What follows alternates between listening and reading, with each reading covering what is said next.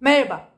1775'te İngiltere'de dünyaya gelmiş olan ve üzerinden geçen onca zamana rağmen hala en çok okunan klasik dönem yazarlarından biri olma başarısını sürdüren Jane Austen'ı ve Jane Austen'ın romanlarını konuşacağız bugün. İlk olarak biraz hayatından ve onu romancı yapan süreçten elbette ki bahsedeceğiz. Bir de ben özel olarak bahsetmek için olgunluk dönemi eserlerinden Mansfield Park'ı seçtim. Umarım keyif aldığınız bir video olur. Teşekkürler izlediğiniz için arkadaşlar. İyi seyirler. İngiltere'nin kırsal bölgelerinde bir köy papazının 7 çocuğundan biri olarak dünyaya geldi Austen. Kendisinden başka 5 erkek kardeşi daha var ve yalnızca tek bir kız kardeşi var. Cassandra. Cassandra onun aynı zamanda hayattaki en yakın arkadaşı. Cassandra da tıpkı onun gibi hiç evlenmedi ve pek çok romanının taslağı aslında onunla mektuplaşmalarına dayanıyordu. Aralarındaki ilişki belki de romancılığının gelişmesinde katkıda bulundu diyebiliriz. O dönem biliyorsunuz ki kızların bir eğitim hayatının olması çok yaygın bir durum değil. Elbette ki varlıklı ailelerin kızları evde bazı temel konularda eğitimler alıyorlar. Fakat bir romancı olarak yetiştirilmesi ya da bir entelektüel kimlik kazandırılması için çaba harcanması çok yaygın bir gelenek değil. Hatta ne yaygını gayet istisnai bir durum. Burada elbette ki pek çok kız çocuğunun olduğu gibi Jane Austen'ın hayatının gidişatını belirleyen de babasının tavrı oluyor. Onun eğitim alması açısından çok teşvik edici tavırlar sergiliyor. Hem kızlar için oluşturulmuş bir okulda hem de sonrasında evde eğitim almaya devam eden Austen hayata bakışını genişletiyor ve o da e, kendisini yazmaya iten ana nedenlerden bir tanesi oluyor. Çok erken yaşta başladığı yazma deneyimlerini bir tutkuya dönüştürüyor zaman içerisinde. Aslında yaşadığı dönem boyunca hiçbir kitabını Jane Austen imzasıyla yayınlayamıyor. Her zaman bu romanlar A Lady imzasıyla okurla buluşuyor. Öldükten sonra aslında romanları sahibinin adına kavuşuyor diyebiliriz. Hatta yıllar sonra onun üzerine yarım kalmış bir romanı üzerine çalışma yapan başka bir kadın da yine Austen'a saygısı gereği Another Lady olarak kitapları imzalıyor. Yani aslında bu bir gelenek olarak sürmüş, devam etmiş diyebiliriz. Bir köy papazının kızıydı demiştik. Jane Austen'ı okuyanlar çok iyi bilir ki köy papazları, köy papazları etrafında gelişen insan ilişkileri onun romanlarında çok büyük yer tutar. Her zaman bir figür olarak bir köy papazı, bir papaz ailesini, bir papaz eşini, papaz olan zengin bir ailenin çocuğunu görebiliriz. Önemli bir e, oluşum noktasıdır onun romanlarında ve hayatında. Jane Austen farklı farklı çevrelere de girip çıkmıştır. Zaten romanlarında bu kadar farklı, zengin karakter görebilmemizin ana sağlayıcısı da onun hayatındaki bu renkliliktir. Zannedildiği gibi evine kapalı yaşayan ya da asosyal bir kadın değildir. Eğlenmeyi sever. Çok kısa süren bir nişanlılığı bile olmuştur. Tıpkı romanlarındaki kızlar gibi o ve kız kardeşi Cassandra da hayatlarını iyileştirebilmek için varlıklı ailelerin oğullarıyla evlendirilmek adına bazı baskılara ve girişimlere maruz kalmıştır. Hatta gurur ve ön yargı ki dilimize aşk ve gurur diye ilk önce nedense çevrilmiş olan bir romandır. Gurur ve ön yargıda anlatılanlar onun ve kız kardeşinin başından geçenlerle paralel hikayelerdir. Cassandra ve o da yine etraftaki, çevredeki zengin ailelerin oğullarıyla evlendirmek üzere dediğimiz gibi pek çok girişime tanık olmuş. Bunlar da rol oynamıştır. Gurur ve ön yargı Jane Austen'ın en çok bilinen, en çok okunan, en çok hakkında konuşulan eseri. Sadece edebiyat dünyası için önemli değil gurur ve ön yargı e, sinema ve dizi dünyasının da her zaman çok popüler malzemelerinden bir tanesi olmuş. Öyle ki bir değil, iki değil, dört değil, tam altı kez farklı uyarlamalarla seyirci karşısına çıkmış. Videonun başında Mansfield Park için olgunluk dönemi eserlerinden biri demiştik. Bir diğer önemli olgunluk dönemi eseri ise Emma. Emma aynı zamanda Austen'ın en sevdiğim romanı dediği kitap diğerlerinden de ayrılıyor bazı noktalarda. Şöyle ki Emma dışındaki neredeyse bütün romanlarında kendinden mevkice, maddi olarak daha üstü olan bir adamla evlenip hayatını iyileştirmek isteyen bir genç kadın görüyoruz.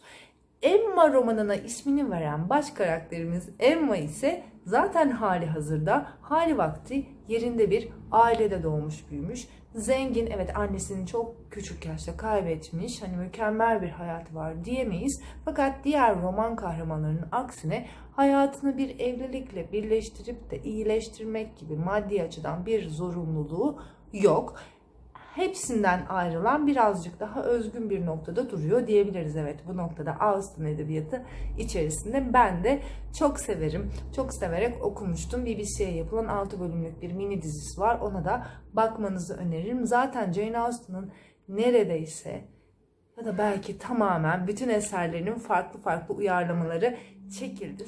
Austen çoğu zaman eleştirmenler tarafından bir kadın yazarı olmakla sınırlandırılmaya çalışılmış. Dönem dönem hep bu tarz değerlendirmeler yapılmış onun hakkında.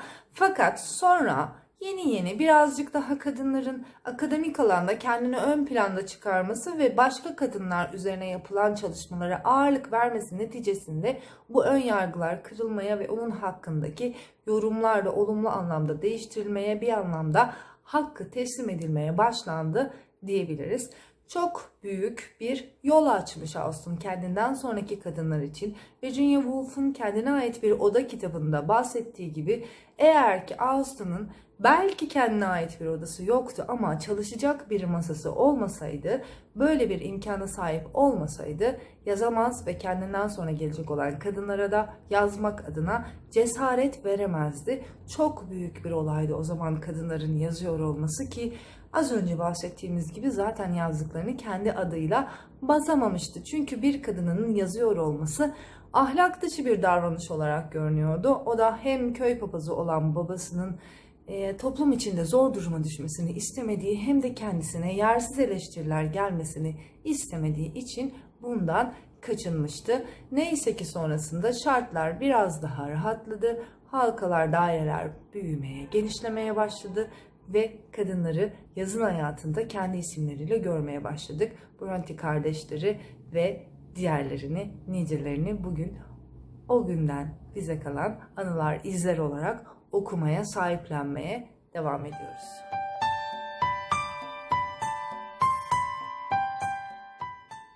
Gelelim Mansfield Park'a. Mansfield Park, Jane Austen'ın en az romantik kitabı olarak değerlendirilir.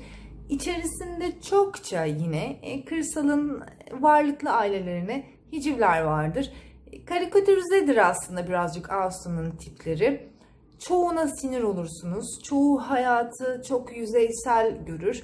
Çoğunun belli ön yargıları vardır ki para, para, para sürekli para konuşurlar. Müthiş sinir bozucudur. Elbette ki bugün de insanlar maddiyata çok fazla önem veriyor. Elbette ki bugün de maneviyatla çok duygusal olarak kararlarımızı vermiyoruz. Bunların hepsi benim kabulüm. Fakat gerçekten bu kadar bariz bir şekilde sosyal hayatın en küçük detayına kadar karşıdakinin sosyal statüsüne göre bir tavır almak gerçekten bir süre sonra okurken insanı fena halde rahatsız ediyor. Ama bunların ne kadarı gerçekti, ne kadarı Austen'ın yansıttığı kadar da ne kadarı onun mizah yeteneğinin bir uzantısıydı bilemiyorum. Sadece Mansfield Park'ta da bu karakterleri çokça çok yoğun bir şekilde gördüğümüzü söylemek isterim. Fanny Price 3 kız kardeşin en küçüğünün çocuğu olarak dünyaya geliyor. En büyük kız kardeş aslında yine kendisinden beklenmeyecek ve umulmadık bir şekilde biraz daha üst basamaktan bir adamla evleniyor ve talihi dönüyor. Çok büyük bir evin hanımı haline geliyor. Ortanca kız kardeş de bir papazla evleniyor. E, fakat o da işte yani her ne kadar ablası kadar talihli olmasa da ailesiyle ters düşmeyecek ve konumunu çok kötü bir yere e, koymayacak bir evlilik yapıp hayatını kurmayı başarıyor.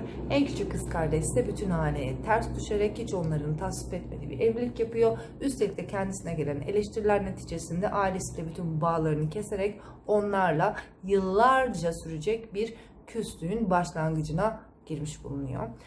Yıllarca aslında tavrını koruyor küçük kız kardeş fakat e, sürekli para harcayan, düzensiz yaşayan, içen bir koca ve ardı ardına dünyaya gelen çocuklar bir süre sonra onun ailesiyle bağ kurmasına mecbur bırakıyor onu. Ve böylece bir mektup yazarak ablalarından destek istiyor. Her ne kadar kendilerine uzun yıllar küs kalmış olsalar da kız kardeşlerinin e, bu yalvaran tondaki mektubuna karşı e, kaygısız ve e, cevapsız kalamıyorlar ve yardımcı olmak istiyorlar. Tam bu yardım girişimleri devam ederken büyük abla ve enişte Sir Thomas ve işte Lady Bertram bir iyilik daha yapmak, iyilikleri bir üst basamağa taşımak istiyorlar ve onun çocuklarından bir tanesini kendi himayeleri altına almak istediklerini söylüyorlar. Ortanca teyze Mrs. Norris korkunç bir insan ve müthiş cimri. Bu isteği işte işgüzarlıkla kabul ediyor ve tamamen kendisi de buna katkı sunacakmış gibi bir tavır sergilese de e, küçük Fanny Price geldikten sonra tamamen Bertram'ların evine yerleşiyor. Onların himayesinde hayatına devam ediyor. Böylece e, Fanny Price ile tanışmış oluyoruz. Fanny Price aslında Austen'ın en çok eleştirilen karakterlerinden biri. Çok hastalıklı bir görüntü çiziliyor. Zayıf, kolay hastalanıyor, çok duygusal, asla kendini gösteremiyor. Ürkekliğini seneler içerisinde asla üzerinden atamıyor. Bu yüzden de Asu'nun bu kadar tabiri caizse ezik bir kız çizmiş olmasından sadık okurları çok rahatsız. Yıllardır tartışılan konulardan bir tanesi.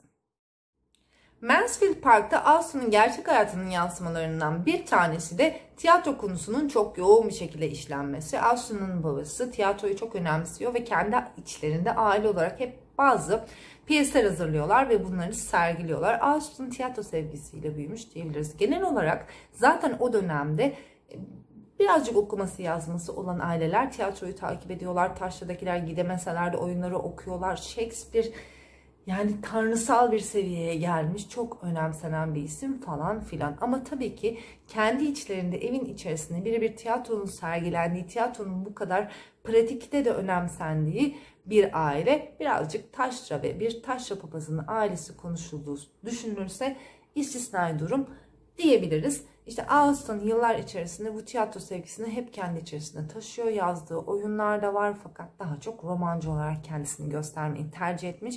Mansfield Park'ta da tiyatro sevgisine yer vermiş ve bunun e, insanlar üzerindeki uyandırdığı heyecanlara çokça değinmiş önemli bir bölümünü oluşturuyor. Geçen yıllar içerisinde Fanny Price'ın değişimi aslında öyle çok büyük olmuyor.